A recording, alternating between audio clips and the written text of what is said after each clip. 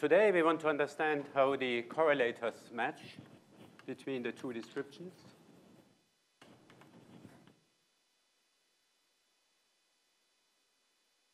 So remember, we have on the one side string theory and ADS3 cross S3 cross 4. And that we described in terms of an SL2R Wess-Zumino-Witten model at level 1 plus an SD, n equals to 1 version, say. I mean, I'm a bit, um, I'm writing this again in the NSR formalism. I had the impression that the hybrid formalism didn't reach enormous uh, level of enthusiasm, so let's just stick with this, and uh, you can understand this uh, as well in that description as in the hybrid description. So this is a string theory on this. So this is the world sheet. And this is dual to the symmetric orbifold of T4, which is the CFT. And what we want to do is we want to calculate uh, correlation functions in that theory.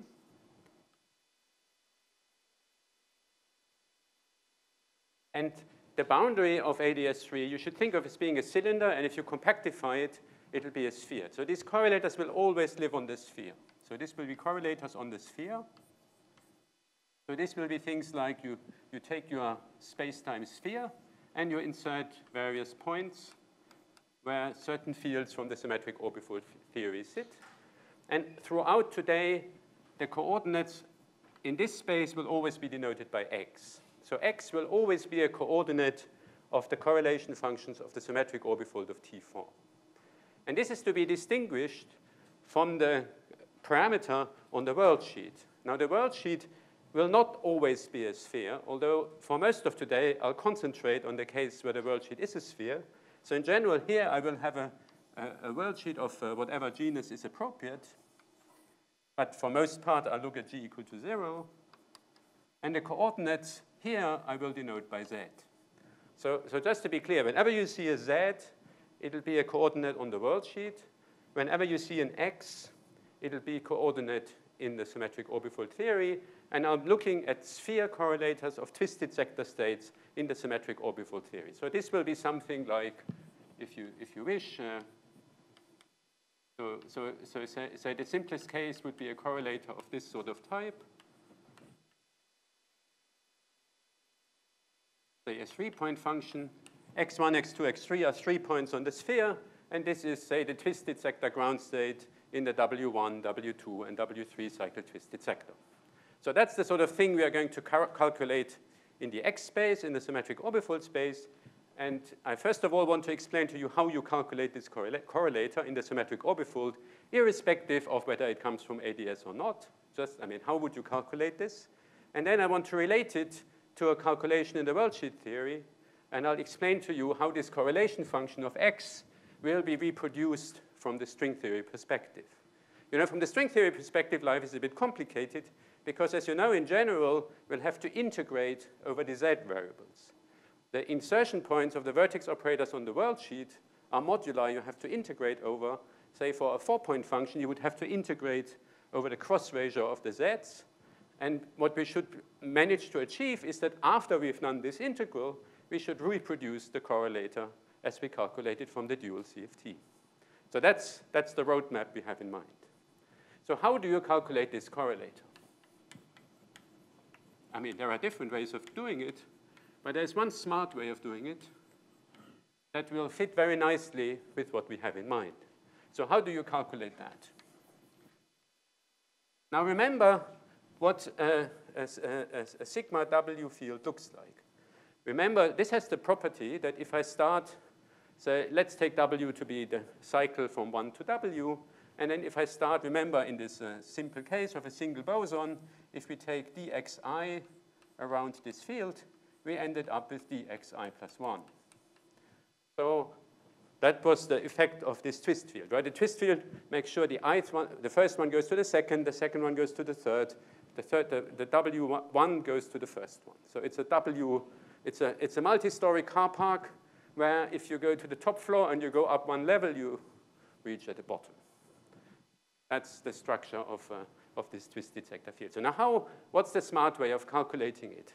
Well, the smart way of calculating it is to change coordinates And to think, to go to the covering space, so we want to find the covering space locally. And what do I mean by the covering space? Well, the covering space will be a map gamma, and I'll write it in a map of Z. So this Z, at this stage, it's not obvious that it will have anything to do with this. At this stage, it's just the parameter I call Z to distinguish it from X. But I call it Z because ultimately it will be connected to that Z, but that's far from clear at this stage. So gamma of Z will be a map from some neighborhood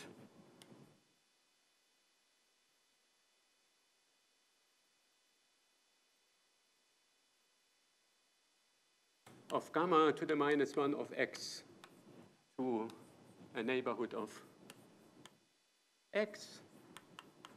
Say, say uh, so let's call this x0, which is the point where the twist field sits. And this map should be such that z gets mapped to x0 plus a times uh, x uh, z minus, and let's call this point z0, z0 to the w. So what you're looking for is a map that sort of W-fold covers the point X. So why is this a smart thing to do? Well, think about in the covering, so here's the covering space. This is the covering space. In the covering space, we have the point Z0. This gets mapped down in our real space. This gets mapped to X0. And this map has the property that if I go once around up here, if I go, if I uh, multiply z minus z0 by e to the 2 pi i z minus z0, then I go w many times downstairs, right, because of the power of w. So if I, if I circle once around here, I circle w many times around here, and you see after going around w many times, it's become single valued. So this is the map that locally maps the individual coordinates dxi single valued, right? Because as you go once around upstairs in the covering map, you go w times around downstairs. So you go from x1 to x2 to x3 to x4 up to xw back to x1, x2. Each of them gets mapped to itself. So from the point of view of the covering space, this map will be single valued in, in terms of the individual dxi's. So in some sense, you've removed the effect of this twist by going to this covering space. Now, locally, it's clear how you do it. I mean, you just uh, write down something like that. And now the idea is, if you calculate a correlator of that kind, what you should be doing is you should patch together the local covering maps of that type into a global covering map, where you have some Riemann surface on top that has the property that near, e near each of these insertion points, it's doing exactly that, and is therefore undoing the twisting that happened downstairs. Now, at first you may think, uh, is this possible? Okay, so let's give an example. So the simplest example is you take three points with w equals to 3. So let's take w equals to 3 at x1, w equals to 3 at x2, and w equals to 3 at x3. And for simplicity, set x1 equal to 1, x2 0, 0, 1, and infinity. And let's choose also the z's, the pre-images to sit at 0, 1, and infinity. That is without loss of generality, because you see, by the Möbius symmetry, I can always um, move uh, three points to three points. So then I claim the corresponding map, the corresponding covering map, in this case is of the form z to the 4 minus 2 times z to the 3, divided by 1 minus 2z. Okay, I've uh, learned this by heart. I wouldn't be able to spot it uh, as uh, I'm not that good a calculator, but what you can do, you can, you can either be smart and see it in your head, or you can type it into Mathematica. But if you check what this, how this behaves, how does this behave near zero? Well, near zero, you see the first term goes like minus 2 times z to the cube. So this is exactly of that form that maps 0 to 0 plus some coefficient, which turns out to be minus 2 in that case, times the third power of z minus z0. And then what happens near 1? So if I calculate um, gamma of uh, uh, uh, z minus 1, well, let's write it, gamma of z is of the form, if I expand it around 1, it goes like 1 minus 2 times z to the minus 1 to the power 3 for z uh, near 1. And then at infinity, what I have to look at is gamma to the minus 1 of 1 over u. So this is the coordinate chart around infinity, and you map it back to around 0. And then you re can read off that it goes like minus 2u cubed, which describes it for u equal to 0, which is the same as z goes to infinity. So this is an example of such a map. I mean, it's holomorphic. It's in fact a map from the sphere to the sphere. It's fourfold. I mean, every generic point has four pre-images because it's a fourth order polynomial divided by a fourth order polynomial. Well, the fourth order polynomial in the, the denominator has been degenerate, but it's fourth order over fourth order. So it has, um, it has four pre-images, and it maps uh, 0 to 0, 1 to 1, infinity into infinity, and at each of the point, it has a threefold covering. So it will undo this correlator and the idea is that instead of calculating this correlator, I apply this covering map, which is a holomorphic map. Correlation functions transform nicely under coordinate transformation, under, under holomorphic maps. So I lift it up to a map of the covering space. And then on the covering space, this map is, this correlator is effectively trivial. Because you see, once you've moved it up to the covering space, then everything is single valued. Any trace of this funny sort of insertions where things got sort of uh, twisted have disappeared. And because I'm looking at this twisted sector ground state, the idea is that once I've lifted it up to the covering space, it's just a vacuum correlator. Every, every single trace of this twist field has disappeared. The, the only purpose of the twist field in life was to impose this twisting, but by this local coordinate transformation, I've undone the twisting, so nothing is left. So therefore, this correlation function is just a conformal factor associated to this conformal transformation. So I just have to calculate the conformal anomaly that comes from this uh, coordinate transformation, and then I've calculated this correlation function. So that's the idea. That's the smart way of defining, uh, of calculating the correlation functions of symmetric orbifold theories. Now, question. Yes. Um, shouldn't we expect some remnant of the parameter capital N? Oh, sorry. What I'm saying here is uh, is, uh, well, well, no. I mean, sorry, yes and no. Yeah, I'll, I'll, come to that in a second. Let, let, let, yeah, you're right, but uh, let me explain one thing and then I'll explain it. Okay, so, so the point is, so in this example, the covering map I've written down um, is, uh, is a sphere. So in this example, this example is a map from the sphere to the sphere. But in general, the covering surface needn't be a sphere. So the covering surface, so the covering map, so if you ask what are the possible covering maps, and you allow yourself your covering space to have arbitrary to uh, topology, then you get different answers, you get different covering maps. There's not a unique covering map. There's a finite number of covering maps. And in general, the covering space that covers, uh, uh, say, uh, this configuration needn't be a sphere. In fact, there is the Riemann-Hurwitz formula. So the Riemann-Hurwitz formula tells you exactly what the what the genus of the covering surface is in terms of the parameters W and the number of coverings. So the, the Riemann-Hurwitz formula is uh, I is equal to 1 to n so if an endpoint function, wi minus 1 over 2 plus 1 minus g, where g is the genus of the covering surface, is equal to m, and m is the number of, uh, of pre-images. Number of pre-images at a generic point.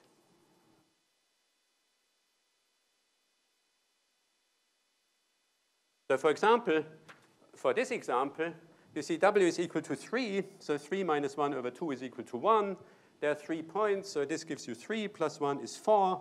It's equal to 4, so the genus is equal to 0. So this is an example of a map that's from the sphere to the sphere, a covering map, and it's fourfold. Uh, it's, uh, it's a fourfold cover. Each point in the downstairs sphere has four pre-images in the upstairs sphere. But in fact, there's also a torus covering. There is, in fact, also a, a, a torus covering where you choose the number of pre-images to be 3, and then you find out that the genus has to be equal to 1. So there are a number of different coverings. In particular, for this configuration, there's at least a sphere covering and a torus covering. Now, coming back to Francesco's questions, what is the role of the different, uh, what is the role of the genus of, uh, of this covering map? And what you discover is that the correlation functions in their large n expansion, the 1 over n dependence of the correlators is controlled by the genus of the covering space. So, so the way you should think about it is that if you calculate these correlators, what you have to do, you have to sum over all possible covering maps.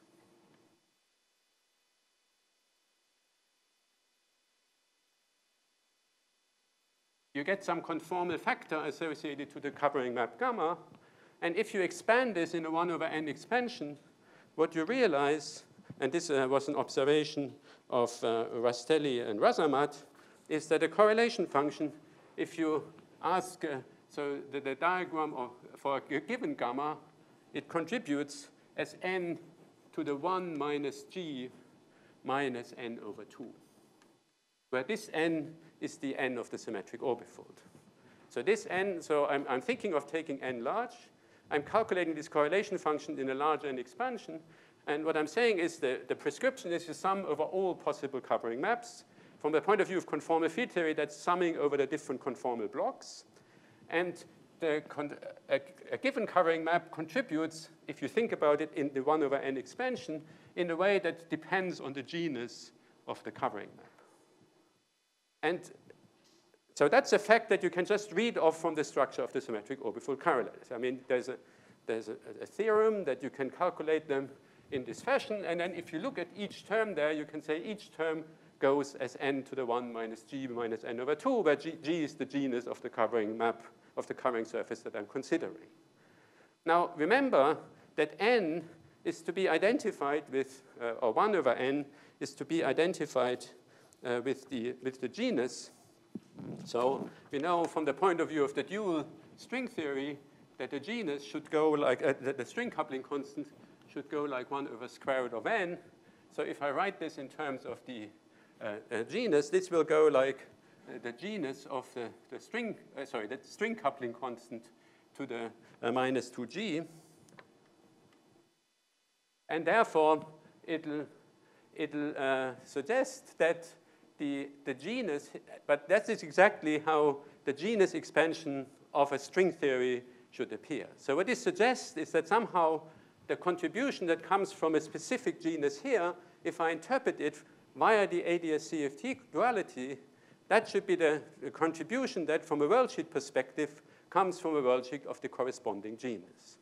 So the genus expansion that's natural here, that comes from just expanding out the 1 over xn expansion of the symmetric orbifold correlators, should, should match with the genus expansion as you write it down in conformal field theory, because the 1 over n expansion go, behaves exactly like the G string expansion under the usual correspondence between the string coupling constant and 1 over n. I think there's a question there. Uh, sorry, when we do an orbifold, usually in 2D, we, we get some symmetry uh, that we usually call quantum symmetry corresponding to this orbifold.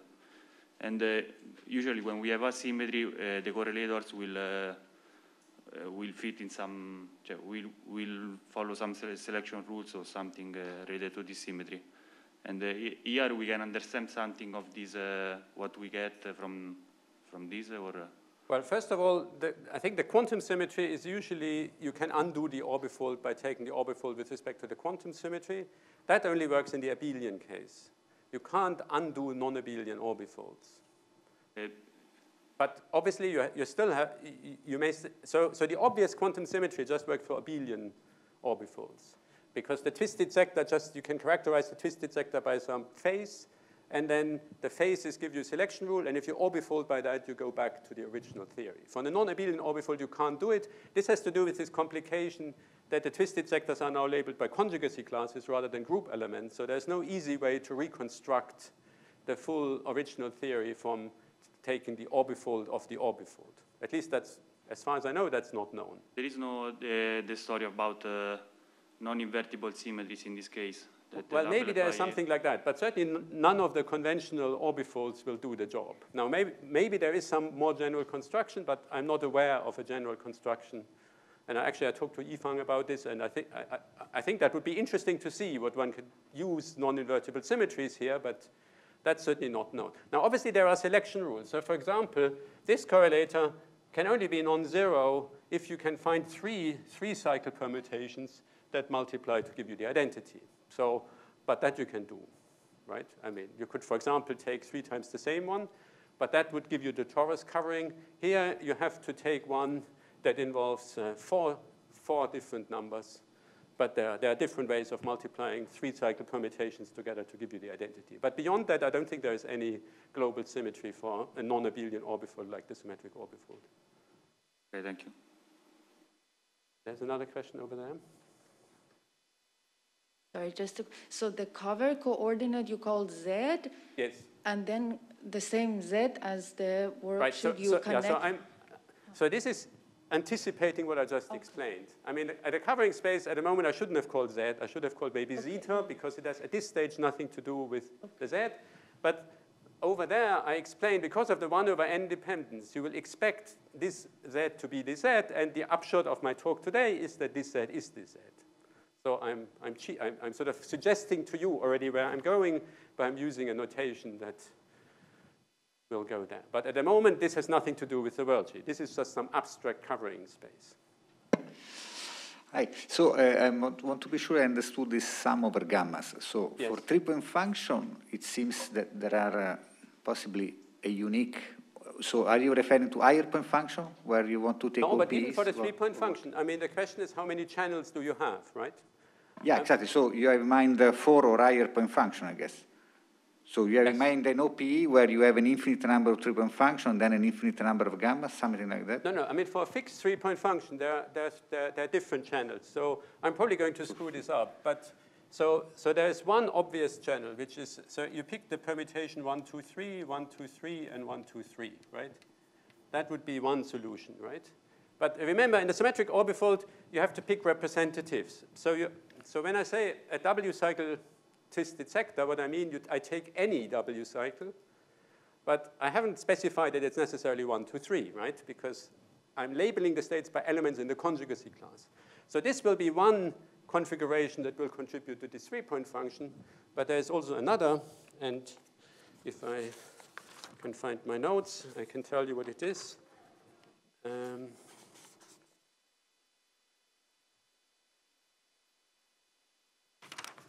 Uh, maybe I can't tell. Oh, here it is. There is one. There's another one. Three, four, one. Three, two, four. And one, two, three. That will also do the job. Right? So one goes to two. Two goes to four. Four goes to one. Two goes to three. Three goes to two. Three goes to one. One goes to three. 4 goes to 3, 3 goes to 4. So that's also another solution.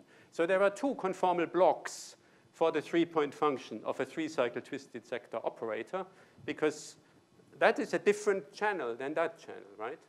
Because you see, that involves three, three elements in the covering space. That, develops, that involves a fourfold cover. So that's the genus 1 contribution, and that's the genus 0 contribution. And when you calculate this correlation function, you have to sum over the conformal block coming from here and from here, and what I'm saying is in the large n limit, this conformal block dominates over this conformal block because this conformal block will be down by a power of 1 over n because it has genus 1 relative to genus 0. And then if you look at more complicated correlators, you get finite number of contributions from different genus, and their 1 over n dependence is controlled by the genus of the corresponding covering surface. Thanks. So another mild uh, question is, um, there are other correlators, right? This is twist fields. Uh, why are you focusing on this specific set of correlators matching and not? Well, well so, so first of all, I'm looking at a single cycle. I'm looking at a single particle states from the string theory perspective. So I'm only going to look at states that live in a single cycle twisted sector. So I'll, they'll always live in a cycle in a, in a cycle of one length because otherwise there would be multi-particle states and I wouldn't see in perturbative string theory. Now, obviously, I don't necessarily have to look at the ground state. I could look at some excited state. And the punchline is, if you look at some, some excited state, then you don't get a trivial correlator on the covering surface, but you get a correlation function of the seed theory on the covering surface. So you can relate it to something relatively simple. And the interesting bit that I'm trying to explore to explain to you really hinges on which cycle it comes from rather than exactly which state you look at. The covering map is always the same covering map. Okay, thanks. Any further questions? Okay, good. So now, now I've written here a sum. Now, uh, people know that when I write sums, I don't necessarily mean sums. Maybe sometimes I mean integrals because I've been sloppy when I wrote down the spectrum of the SL2R Wess-Witten model. But the point is, here I actually mean a sum. Covering, surf, covering maps are rare. Generically, they don't exist.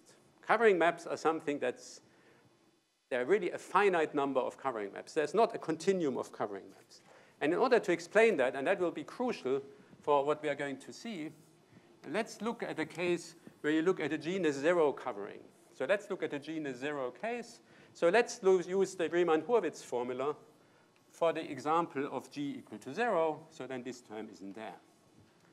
Okay, so if you have on the sphere, what does the most general holomorphic map look like?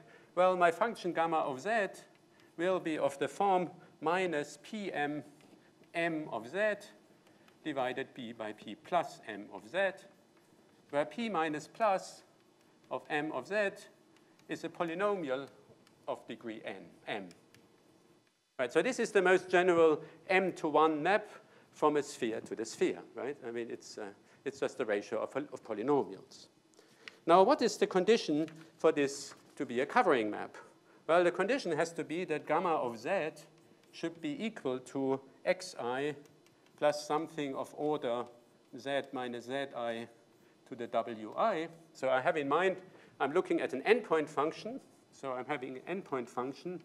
And the points sit at coordinate xi, and they have a winding wi. And I want the, the covering, the, the, the pre-images to sit at position zi. So I'm asking uh, so what this means is that near z equal to zi, it has to map to xi, and then it has to be order z minus zi to the wi. That's the covering map condition. But now, you see, we can just plug this answer into this formula. So what does it say? But now maybe people can't see anymore, so maybe I'll continue over there.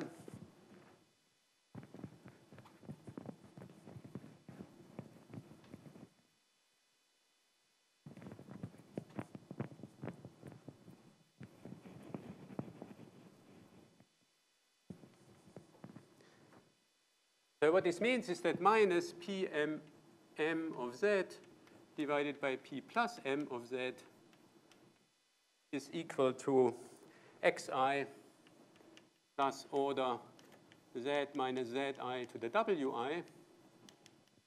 So now multiply by p plus m of z. This is some generic polynomial. And then bring this to the other side. And what do we learn? We learn we get the equation pm minus of z plus xi p plus m of z must be of order z minus zi to the wi. That's the constraint I have to satisfy in order for this to be a covering map, right?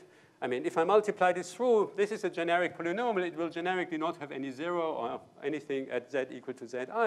So therefore, you can just multiply it through. So xi multiplies p plus you bring p minus to the other side, and then it has to be of order z minus zi to the wi. So let's count how many parameters we have in our ansatz and how many constraints we have to satisfy. Well, how many parameters do we have? Well, this is a polynomial of order m. So it has m plus 1 parameters. This is a polynomial of order m, so it has another m plus 1 parameter. So I have 2m plus 2 free parameters. But one parameter drops out because I'm looking at the ratio. Right? The overall scale drops out. So the number of parameters in my ansatz is equal to 2m plus 1. On the other hand, how many constraints do I have? So the number of constraints I have to satisfy is equal to, well, at each point xi, so at some for each i, so sum i is equal to 1 to n, I get how many constrained? I get wi constrained. because I have to make the order 0 term vanish, the order 1 term vanish, up to the order w minus 1 term vanish. So I get wi many constraints. But now let's look at the Riemann-Hurwitz formula. You see, the Riemann-Hurwitz formula tells you that the sum over n of wi is equal to 2m minus 2.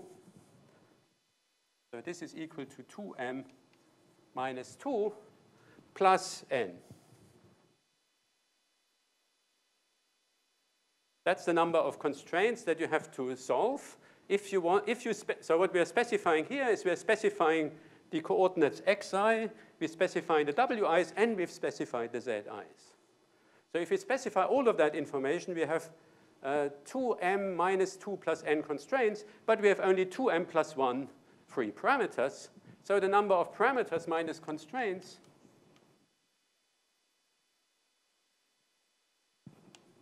is equal to 2m minus uh, plus 1 minus 2m minus 2 uh, plus n. And what you see is that this is equal to 3 minus n. So what does this tell you is that, you see, generically, if n is bigger than 3, you have more constraints than parameters which is another way of saying that generically the covering map doesn't exist. The covering map will only exist if the zi's satisfy n minus 3 constraints. I mean, the, the, the, zi's must, must lie on a hypersurface of codimension n minus 3 in order for you, at least generically, to have a chance to find a covering map, because the number of parameters is simply too small to satisfy all the constraints that you have to satisfy. But this number is a very suggestive number, right? Because, you know, if we are doing worldsheet theory on the sphere, if we're calculating a string diagram, we have to calculate, we have to integrate over the z's.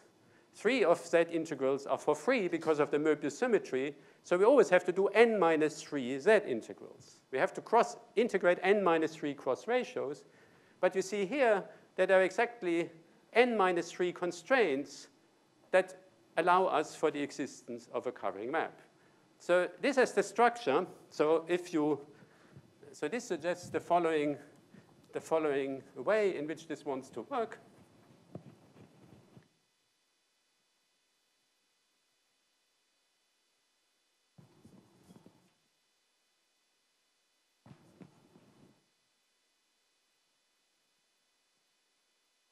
So, so suppose I can, I can write these constraints in terms of the variables z4 up to zn, then I would expect that from the worldsheet point of view, so, so, I, so far I've only done symmetric orbifold analysis. Now I make a leap of faith.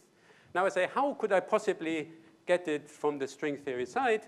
And there's a very, very natural way in which you can get it from the string theory side. And the natural way is the following. The vertex operators on the string theory well, they're going to depend on xi and z, x1 and z1, and up to uh, wn, xn, and zn. So they should be a sum over all the covering maps labeled by j, and that for each covering map, I'm going to get an uh, uh, uh, n minus 3 delta functions, and the delta functions will be of the form gamma j to the minus 1 of x4 uh, Uh, xi minus zi times some conformal factor. So, so, so I, I, I propose that is a natural way in which the worldsheet theory should look like. And why is this natural? Well, this is natural because once you do string theory,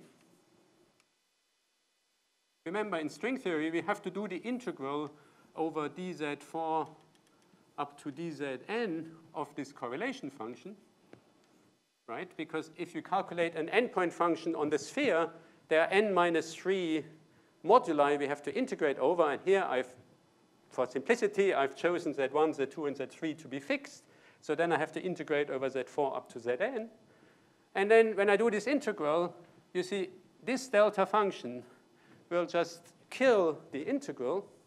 It will pick out exactly the configuration of z's for which the covering map exists. And then I will end up with the sum over covering maps with the conformal factor of the covering map.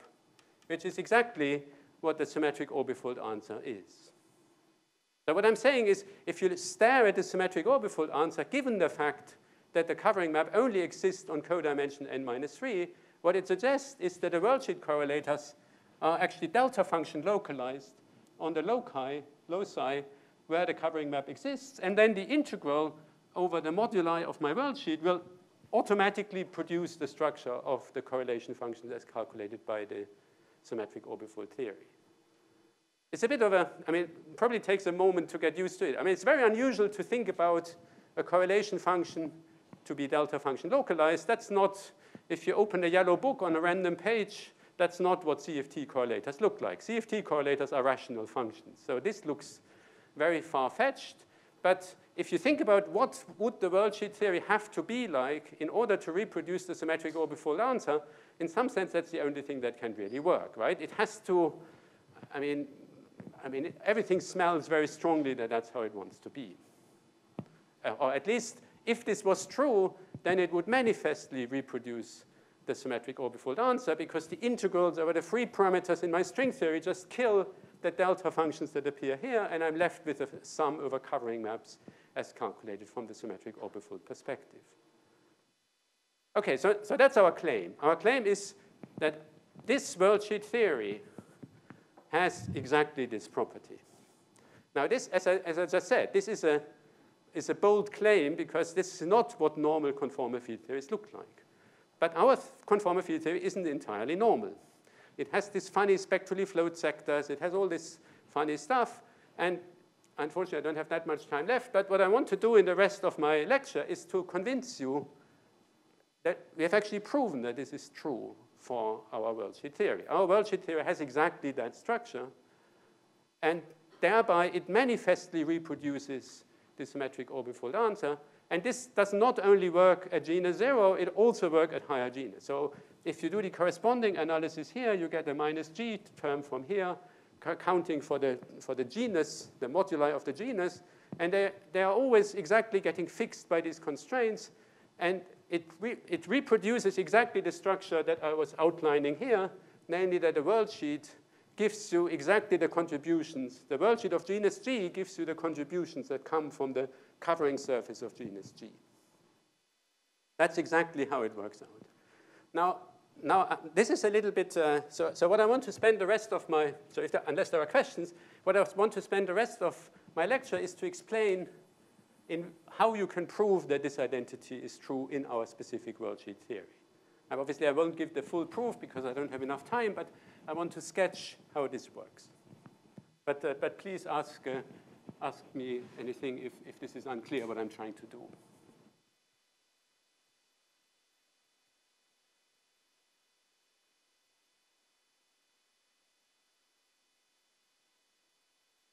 I'm not sure whether that means that I've lost all of you or whether it's abundantly clear.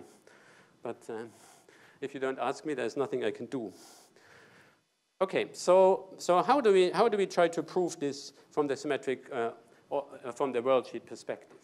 Now, from the worldsheet perspective, so there's one key, key insight, which in retrospect is a pretty obvious key insight, but maybe is something that people didn't quite appreciate in its full significance. So in the first three lectures, what I explained to you was how the states of the symmetric orbifold theory can be reproduced from a physical state on the worldsheet theory. So I established a map from a vector space of states here to the vector space of states here.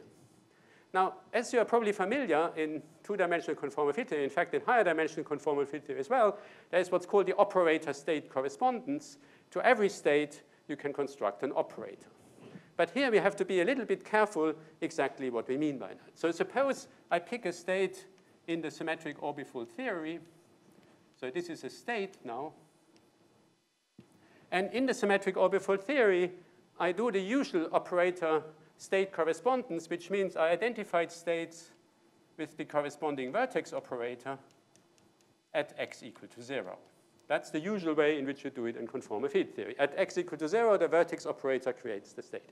But this is at x equal to 0 because this is the symmetric orbifold T4 that lives in x space.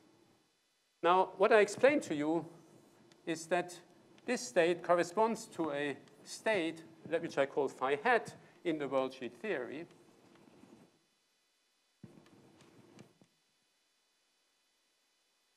And in the worldsheet theory, I also have the operator state correspondence. So to that state, I can associate a vertex operator, which I'll denote by phi hat of z. And that's the vertex operator that's associated to the state. And again, I make the association as is conventional to say that the vertex operator at zero, uh, backlight on the vacuum produces for me the state, just like you always do in 2D CFT. Now, let me remind you how you can characterize the z-dependence of such a vertex operator. The z-dependence of that vertex operator is actually totally obvious because you see we know what the translation operator is on the world sheet. The translation operator is e to the z times L minus 1. And therefore, this vertex operator is really necessarily of the form e to the z L minus 1, the vertex operator associated to z equal to 0, e to the minus z L minus 1, right? The, the Z dependence is always trivial. It just comes from conjugation with the, with the translation operator. And the translation operator on the worldsheet is L minus 1, where L minus 1 is the Virasoro generator on the worldsheet. But so far, this describes the vertex operator that corresponds to the state being inserted at x equal to 0. So I should have really written here, this is the vertex operator corresponding to x equal to 0 and z. And this is the vertex operator associated to x equal to 0 and z, uh, z equal to 0. Because you see, I've identified it with a state, and the state is really associated to the uh, vertex operator in the dual CFT being at x equal to 0. So now I can ask, what is the vertex operator associated to this symmetric orbifold state if I insert it at an arbitrary position x and at an arbitrary arbitrary position x in the dual CFT and an arbitrary position z on my worldsheet. Now, given that I've just explained to you how it works for the worldsheet CFT, it's now obvious what I have to do.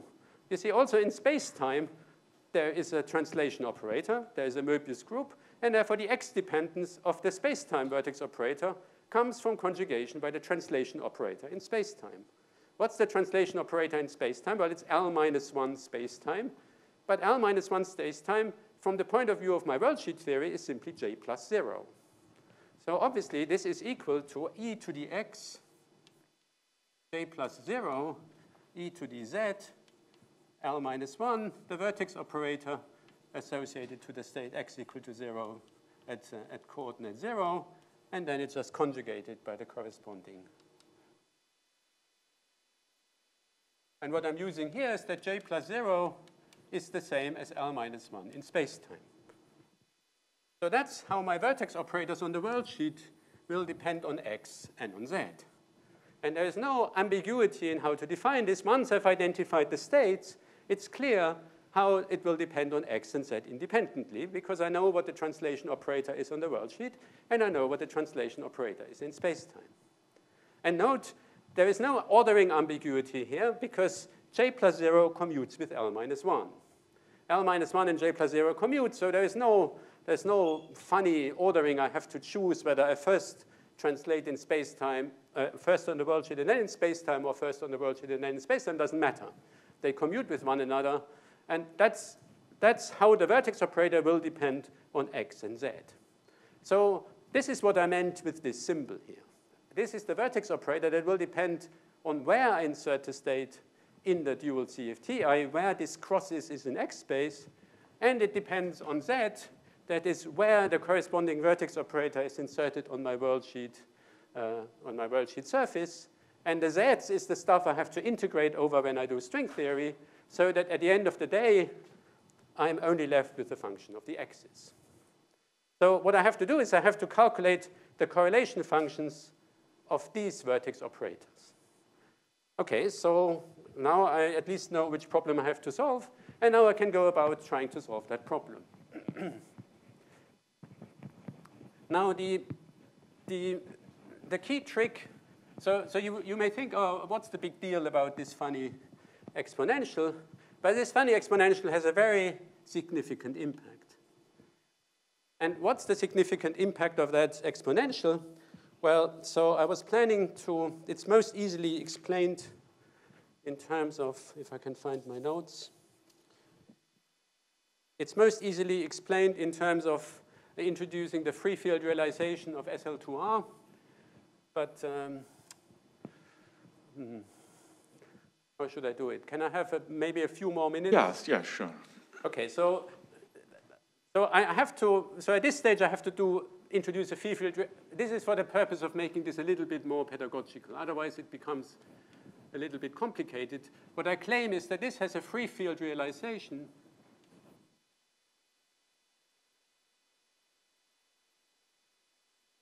in terms of what I like to call symplectic bosons. I think uh, string theory people tend to call this a, a, a beta gamma system. So these are bosonic co uh, coordinates, and they're characterized by the following commutation relations. Psi alpha r eta beta s is equal to epsilon alpha beta delta r minus s. So alpha and beta take values in plus minus. Epsilon plus minus is equal to plus 1, and epsilon minus plus is equal to minus 1, and the other epsilons are 0. So these are, this is like a beta gamma system. And then I claim this beta gamma system realizes the SL2R affine Kac-Moody algebra at level 1 if I write the plus, the J plus and J minus uh, uh, uh, generators, they're the bilinears of the form. So J plus is eta plus psi plus, J minus is eta minus psi minus, understood as, uh, as fields. And then J3 is equal to a minus a half times eta plus psi minus, always normal ordered, minus a half times eta minus psi plus. Okay, so I, I hope uh, this is not, uh, not scary for you. I mean, these are free fields. This is like a beta gamma system, so this is not so different from stuff you've seen. And what I claim is if you look at these combinations, they are all spin a half fields, so these guys are spin one fields. And when you calculate the OPEs, you realize SL2R at level one. That's what I claim. Wait, wait. For example, in uh, string, oh, sorry, uh, is it exactly the beta gamma system or further bosonized? Uh, like in string theory, we have this uh, eta xi system. Uh. well, I mean, it's, uh, it's bosonic field to have a simple pole OPE, mm -hmm. right? that I thought is called beta gamma system, right? I mean, it's, I mean, the corresponding field psi alpha, eta beta of Z and W goes like epsilon alpha beta over Z minus W. Thanks. That's the OPE, right? I thought that's what you call a beta gamma system. But maybe, maybe anyway. yeah, maybe I'm anyway, misremembering that's, that's what something. I mean. That's what it is, right? And if I write it in terms of mode, that's what it looks like. And then if I look at the normal ordered products, that gives me SL2R at level one. Thanks. Okay, so that is, uh, uh, that is uh, um, now I've lost my notes again. Okay, so that is so, so this is something you can check, and it's not, uh, it's not rocket science to check it, uh, and it's true. It requires maybe a little bit care, but it's uh, true. So, so we need that. And then remember, in the worldsheet theory, we don't have just uh, the SL. So I'm looking at just the bosonic piece of it. I'm just looking at the SL2R. I'm ignoring the fermions. So the SL2R bosonic algebra can be generated by these fields. And then the other thing we need to know is what spectral flow does. And I explained to you what spectral flow does to these fields, but actually this spectral flow comes from a natural spectral flow that you can formulate in terms of the, uh, of the free fields. And in terms of the free fields, the spectral flow is that uh, sigma of um, sigma of psi plus minus r is equal to psi plus minus r minus a half, r minus plus a half, and sigma of eta plus minus r is eta plus minus r minus a plus a half. So this is how spectral flow acts on the free fields, and that just generates the spectral flow as we've seen in the generators. You see the plus components get shifted downwards, the minus components get shifted upwards. So the plus component gets shifted downwards by 2 minus a halves, so it gets shifted down by minus 1. The minus component gets shifted, moved up by 2 plus 1, so it gets shifted up by plus 1 and the zero mode stays the same, and the normal ordering term gives you this shift in the zero mode term. Anyway, I mean, it's, if you don't trust me on that, then I probably have no chance to explain you the rest. Uh, this, is not, uh, this is not rocket science. This is just something you do. Okay, so now, why, why is this funny formula, why am I so excited about this formula about the correct definition of the vertex operators? So, so why is this such an important formula?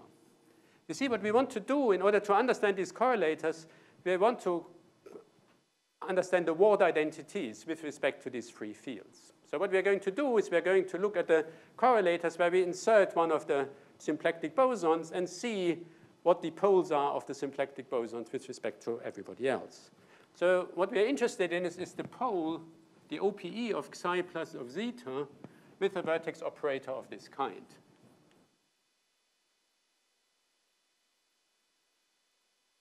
Now, what's important is you see J plus is proportional to eta plus and psi plus, and eta plus and psi plus commute both with psi plus. Because the only commutator that's not trivial is between psi plus and eta minus, but there's no eta minus inside. So this psi plus doesn't care about the fact that there's an e to the xj plus 0 standing here, because it just goes through. So its OPE will behave exactly as it originally behaved, and because it gets shifted downwards, what you find is that this OPE you can calculate. So this goes like the sum over R uh, of the mode numbers, and it'll be, so let's specify the, the, the, spectrally flowed sector by this upper index. And then what you find is that this is going to be psi plus R minus W over 2. In this W-fold spectrally flowed sector, you shift this down by W times minus a half, acting on phi hat and then uh, x and z. And then it goes like zeta minus z to the uh, minus r minus a half. That's uh, just the usual way the OPE works. And this is independent of the x variable because it commutes with the e to the xj plus 0 term.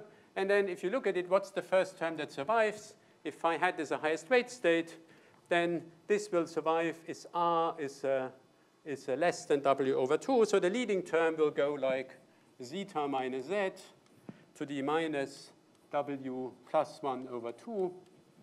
And then it'll go like this term. So that's the structure of this OPE. So the Psi plus OPE with this is this form. Okay, so that's how, work, how Psi plus works. But now what about Psi minus? Well, when you try to do the same calculation with Psi minus, you see previously we didn't have these factors of, of x here. Of the, we didn't have this factor of e to the xj plus. So it's like the OPE we would have calculated previously, except we have to ask what happens when I move psi minus past e to the xj plus. And that you can easily calculate. What is psi minus of uh, zeta with e to the xj plus 0 well, if you think about it, you can expand this out. J plus 0 has a term that matters uh, because there is a, uh, the psi minus is going to eat the eta plus and spit out psi plus. And what you're finding is that this is equal to e to the x j plus 0 times psi minus of zeta. That's the term where nothing has happened. And then you get a correction term. And the correction term is goes like uh, minus x times psi plus of zeta. And that just comes from the fact that you're moving, you see, as you move this through, you pick up a commutator term of the psi minus with the j plus 0, and that produces you a psi plus term. And it's purely algebraic, right? I mean, there's no, there's no guesswork involved here. This just follows from the commutation relations of these modes with one another. So, so why the plus is invisible to the e to the x j plus, the psi minus isn't, and therefore, when I calculate this OPE, if I move it past the e to the xj plus 0, I have to calculate the OPE of minus x times the OPE I've just calculated. And then I have to calculate this. So this will go like minus x times this OPE. Except I've sort of moved out the, well, actually, it does, there it doesn't matter because that uh, commutes with x. And then it has a term that goes like plus the OPE I would get from psi. And the OPE I get from psi minus is actually much more regular than normal because under spectral flow, the psi minus modes get shifted the opposite way. And if you calculate it, what you find is it goes like, the correction term goes like plus zeta minus z to the power w minus 1 over 2 times vw of uh, psi minus of 0 on phi uh, x and z. So, so, so the important fact is that psi plus and psi minus have a different OPE when you bring them near these vertex operators. And more importantly, this OPE depends in an intricate way on the coordinate x where you've inserted the vertex operator in the dual CFT. And algebraically, it comes from this identity. This is the key identity. The key identity is that the translation operator in space-time has an impact on psi minus. Geometrically, what this means is you see, we've picked this spectral flow direction, but under translation in space-time, the spectral flow direction isn't really invariant, and you pick up correction terms. And the correction term you pick up is this correction term. Obviously, when you set x equal to 0, this goes away, but for x not equal to 0, you get this correction term. And, and that is, I mean, it really comes all out of just doing things properly. I mean, there was no ambiguity in how to define this operator. There's no ambiguity in calculating that. There's no ambiguity in calculating these OPEs. This is just dictated to you once I've defined the theory. There's no, no freedom here. Okay, so now, now there's one small additional fact I have to mention, and then, we'll, then you'll see what happens. So unfortunately, this is a superstring theory, and superstring theory correlators are awkward because there are things like uh, picture changing and stuff. So we have to incorporate picture changing. And the correct way of incorporating picture changing in this context is that you, is that you, um, that, the, that the real correlator has some additional picture changing operators inserted.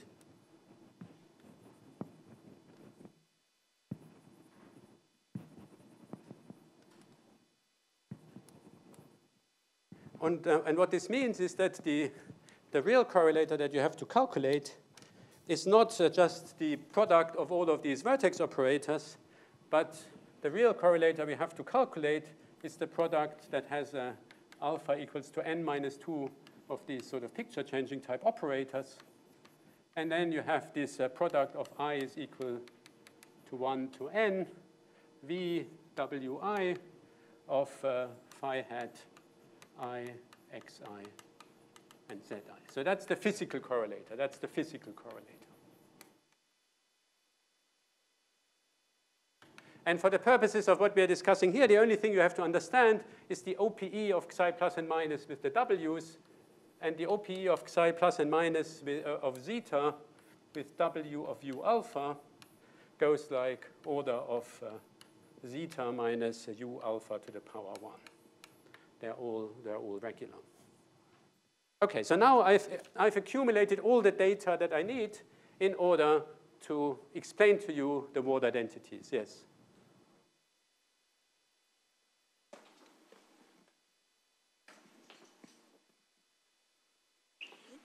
My, question is about the, the, correlators that do not necessarily preserve the winding number, so the spectral flow variable. So they, they are totally singular. These are the vertex operators where you've moved the points here all into one position. These are not these are non-zero, right? So you can compute them. But they are singular. They are not they are not the right correlators to consider. These are the so I mean if you ask about it from the point of view of the of the symmetric orbifold, the winding number will only add if the two points sit on top of each other. Then the winding number obviously adds. So if then they don't sit on top of each other, it never adds. But what, what would be the string theory interpretation? Because from the string theory side, we know that the winding numbers can be, in principle, violated in this case. Right, but so these are correlators. So pre previously, people have calculated these correlators where they didn't introduce the x variable.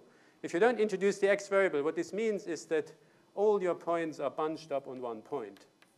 So then from the point of view of the dual CFT, you're calculating not a correlation function, you're calculating the limit of all the points coming together. Then obviously winding number adds. If, you want, if you're interested in the honest correlator of the symmetric orbifold, then you have to evaluate them at different points, and then winding number will not add, as we'll see. And it's all characterized in terms of covering maps. But that's the data that really controls the correlators of the symmetric orbifold, that controls the 1 over n dependence, and so on. So, so the correlators that were looked at previously are sort of the funny singular limit. And it's, it's not directly, I mean, in some sense, you must be able to retrieve them from there, but they are very, very singular. That's the limit where the covering surface degenerates. The, the, the regular correlators, where they sit at different points, winding number can never add. And you get the, the correlate, you get the, the, the, the structure of the fusion rules that are appropriate for the symmetric orbifold. That's exactly how people calculate symmetric orbifold correlators. Okay, so now our plan is that we are looking at these uh, correlators and we want to analyze the Ward identities. And in order to analyze the Ward identities, what we have to do, we have to insert psi plus and minus, and now I've managed to mislay my crucial piece of paper but maybe I find it here. Yes, I found it. It's the final one. So the end is near. So, so I, I propose to define the following functions. So, okay, let me, let me just write it down. It's a product of 1 to n of zeta minus xi to the wi plus 1 over 2 divided by the product of alpha is equal to n, n minus 2 of zeta minus u alpha and then it's the correlation function where I insert zeta, psi plus of zeta, and then I put the product of the W and the product of the V's. So it's basically this correlator. And what I do is I insert psi plus and minus inside the correlator here, and then I multiply it with this funny prefactor. Okay, so, so now what, is, what are these functions? Well, let's think about it. So so let's ask, uh, where, where do these functions have a pole? Well, originally you would think these functions have a pole when psi plus and minus go close to one of the vertex operators. But if psi plus comes close to a vertex operator, the pole is of order minus w plus 1 over 2. And if psi minus comes to, a to the vertex operator, the pole is of the same order because of this term. There's also a pole of that order. But in both types, I've exactly removed that pole by multiplying it by zeta, sorry, this is zeta minus zi to the wi plus 1 over 2. So this factor is designed to kill this pole, right? I mean, psi plus near each of these vertex operator has a pole of order w plus 1 over 2, and I multiply it by a prefactor by hand that is just a zero of that corresponding order. So this has no poles at zeta equal to the zi's, and at zeta equal to w, it has a simple zero, and I've divided by the simple zero, so it still doesn't have a pole. So this function doesn't have a pole in zeta, and a function that doesn't have a pole in zeta and is holomorphic is called a polynomial. So p plus and minus of zeta are polynomials because they don't have any zeros, uh, they don't have any poles. Now, what's the degree of the polynomial? Well, the degree of the polynomial is what? Well, I have to calculate the degree of the prefactor, so I get the sum from i is equal to 1 to n, wi plus 1 over 2. Then I get minus, so this is the, the, the prefactor coming from here. That obviously adds to the degree, and then this subtracts to the degree. So then I have minus the sum of uh, uh, alpha is equal to 1 over n minus 2 times 1. These are the the, the things I divide out through. And what is the degree of this? Well, the degree of this you can determine by asking how does it behave when zeta goes to infinity. But you know how it behaves when zeta goes to infinity because zeta is a spin spinor half field, so it'll go like 1 over zeta. So there'll be a minus 1 from the behavior. That's the zeta behavior, the large zeta behavior of this correlation function, which simply follows from the fact what zeta does, psi plus does out at infinity. Now, if I find my, my help sheet, then I will realize that this uh, expression here is exactly equal to, so, so now I can't find my sheet anymore, but this expression is exactly equal to m. So this goes exactly like, I can rewrite this, this goes like this goes like the sum over i is equal to 1 to n of wi minus 1 over 2, because I can subtract these, two, these things out, and then plus 1, because I'm only subtracting out n minus 2 ones, and I have to add in another one. So this is the degree of this map. And this is exactly m as coming of the Riemann-Hurwitz formula that I described before. So these are polynomials of degree m, right? I mean, they have no, they have no poles. That's the degree, and the degree is exactly the degree as predicted by the Riemann-Hurwitz formula. Now, what about the characteristic identity that characterizes the covering map? Remember, what we have to look at is p minus of zeta minus x plus xi of p plus of zeta. But look at this. You see, if you look at this combination, then xi minus of zeta, xi minus of zeta plus x times p plus, this kills exactly this term, right? So what's left behind is it goes like something to the order. So this goes like order z minus uh, zeta minus zi to the power wi minus 1 over 2. But then remember, there's an additional prefactor standing outside that goes like zeta uh, minus z to the power wi plus 1 over 2, plus wi plus 1 over 2. So you see that this combination goes exactly like zeta uh, minus zi to the wi, because wi minus 2 plus wi plus 1 over 2 is wi.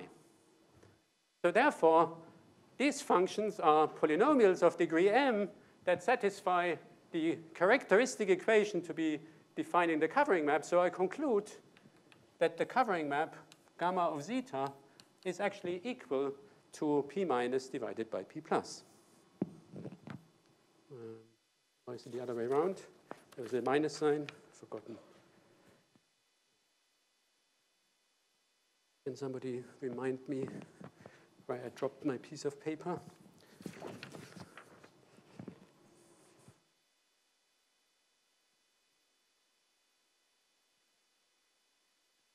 Ah, so this is my, so this is minus, this is minus p minus of zeta divided by p plus of zeta. So what this tells you is that the worldsheet theory allows you to, to recover the covering map. The covering map arises naturally out of the worldsheet theory by virtue of looking at these correlation functions and just dressing them up so that they become polynomials of the right degree. And the construction guarantees that these correlation functions of the worldsheet theory produce for you exactly the covering map. But remember, the covering map doesn't generically exist. But if the correlators produce you the covering map, then something with this construction must go wrong for those configurations where the covering map doesn't exist, because we know the covering map generically doesn't exist. Now, if you trace through this argument carefully, what you see is that, well, the thing that has to go wrong is that p plus has to go to 0. This construction must break down. And then you can show that if p plus goes to 0, then the correlator without the insertion of psi plus must also go to 0. So you prove from that that because you can reconstruct the covering map from the correlators by inserting an additional field, and you know that the covering map will sometimes not exist, you can prove that whenever the covering map doesn't exist, the correlators, even without the insertion of the psi fields, must be equal to 0 i.e. the correlators on the world sheet can only be non-zero at the location where the covering map exists. And if you do a little bit more work, you can show that it's actually a delta function type localization property so that when you do the integral over the world sheet moduli, you really recover the sum of covering maps. So, so that's the reason why this world sheet theory knows about covering maps. And what it really tells you is, you see, this identity, this identity tells you that psi plus and psi minus want to be the twistor variables. And this is like the incidence relation that recovers the space-time coordinate from the twistor variables. So what this strongly suggests is that the symplectic bosons play the role of the space-time twistors, and the localization, the incidence relation of the space-time theory is encoded by the Ward identities of these symplectic boson theories. And this is the idea that has then subsequently motivated us to try to imitate this also for AdS5, and, but obviously I don't have any time anymore to sketch that. But here in the AdS3 case, we can really nail this down, and it matches exactly with what you would expect from the symmetric orbifold answer. So my time is truly up, so I'll stop here, and thank you for your attention.